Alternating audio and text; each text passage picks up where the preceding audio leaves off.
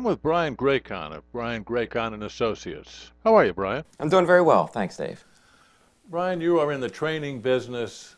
We've talked on this program a great deal about millennials, how consumers are changing by virtue of having millennials join more and more the, the bank of consumers out there. One thing that we've never really talked about is approaching. How do we sell them? How do we market to millennials? Um, it's a whole new way of looking at things. Right, marketing and then staff development to better serve millennials as well. The millennials group is the largest of the three groups. If you think boomers, Gen X, and millennials, the millennials are the largest group. We need to be paying attention, and probably most of your viewers uh, are paying attention to that. They've gotten the message, this is important. But what do you do? And that's where somebody from a training and a marketing perspective might come to that issue. I've done some research recently that shed some interesting light about millennials, and then we'll use this information to talk about marketing and training and, and staff development. And to make sure I get the sources right and the numbers right, I want to refer to a few notes. There's an outfit called Inmar that does a shopper behavior study. And they confirm what we all know that millennials do a lot more research online than anybody else. Uh, their estimate was 15% more. I suspect it's a lot more than that before they ever consider coming to your store to buy your product. Accenture, a well respected international consulting company, did a recent study on millennials, and they said millennials do 40% more online review research than anybody else. You know, what did somebody say about this product? What did somebody say about this dealer, that salesperson? 40% more. They uh, did something very interesting uh, to me. They started breaking the millennials group down. You know, there's 83 million millennials. Well, they're not all the same. They're starting to talk about older millennials versus younger millennials. And older millennials, in their view, were people 23 to 27 years old. And they say the older millennials do 50% more email than younger millennials. So as you think about people texting and instant messaging and Twitter and, and so forth, uh, it's an increasing wave. As people get younger, they're getting more familiar and using that technology more.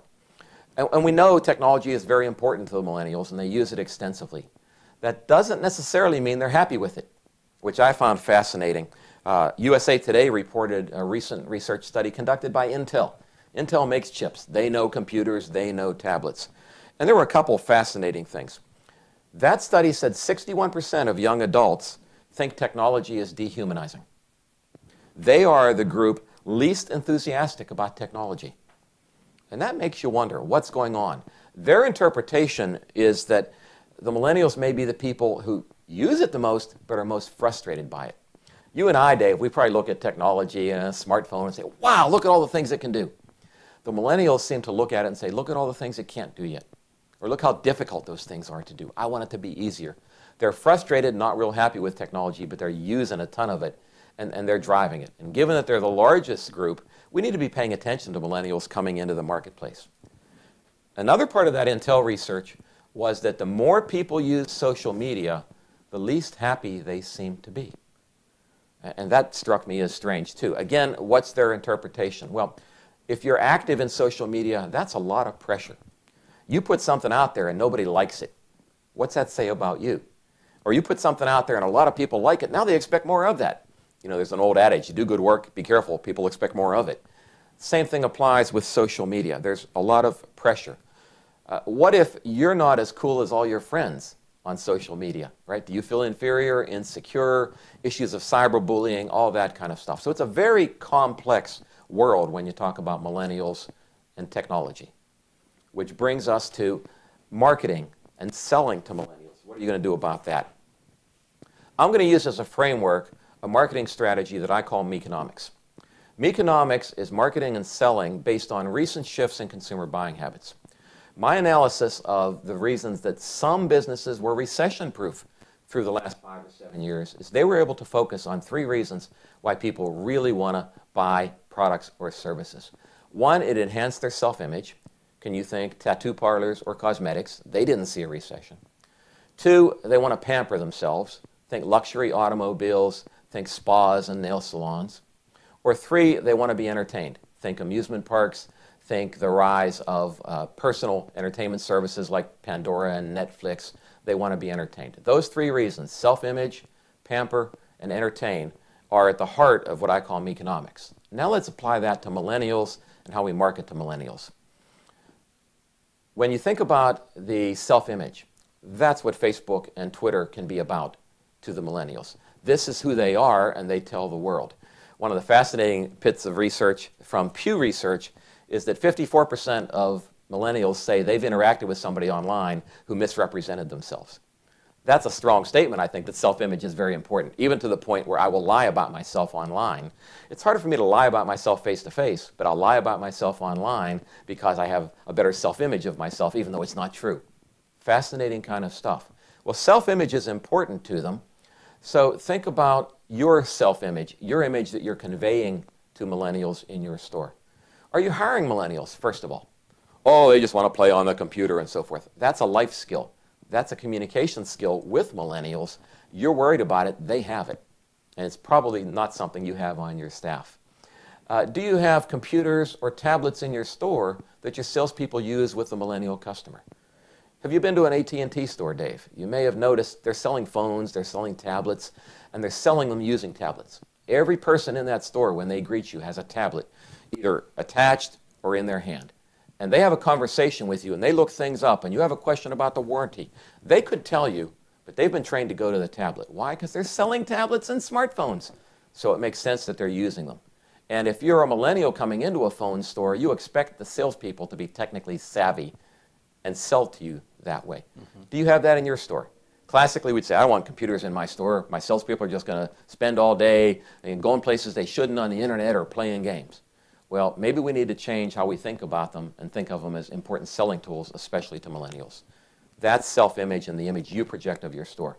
About a third of millennials say it's very important in their job decisions when they decide where to go to work, what kind of technology is available to them. It's coming. And if we want to sell it to millennials, maybe we should be able to sell it to millennials. The second topic is pamper in this list of meconomics uh, spas and luxury automobiles and so forth.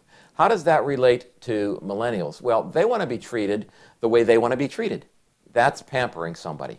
Uh, if you like massages, you want to go somewhere where maybe they give you a spa certificate as a, an incentive for the sale, not just 5% off. So, do you hire people who know how to pamper millennials?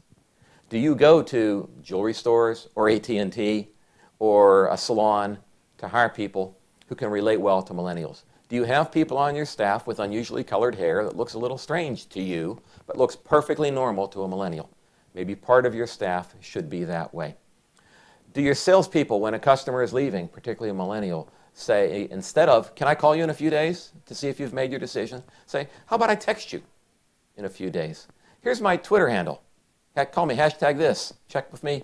I'll see if there's anything new and I'll be in touch. How are you communicating? What kind of incentives are you giving? Are they incentives that pamper the millennial? Right? Are you giving incentives that are 5% off, or we're giving you a floral bouquet? Or are you giving Amazon gift cards? Are you giving uh, AT&T gift cards? Are you telling people, I'll pay your data plan for three months if you buy a room of flooring from me? Now you have incentives that pamper and speak to the lifestyle of the millennials, perhaps more than the incentives we've been giving. Uh, buy two rooms and I'll give you a kayak whatever it is that matters to the millennials, that's what we should be thinking about as part of our package, at least, of incentives. Might the uh, boomer be interested in a kayak? Maybe not. But can it be available as one of the bags, one of the things in your bag of tricks to a millennial? Absolutely. And third is entertaining, the third lens in meconomics. How do millennials like to be entertained? Well, can you say data plans, download movies, download music? And to some degree, Facebook and Twitter are also there as entertainment. I have to stay in touch. Right? Those are ways that millennials are entertaining themselves. So again, what are we doing in terms of making the shopping experience fun? Maybe we're using computers and tablets to communicate. Or the incentives, and I've mentioned several recently, from kayaks to data plans, whatever it is you think will speak to millennials, those are things we can put into the package of how we do business, market and sell to millennials.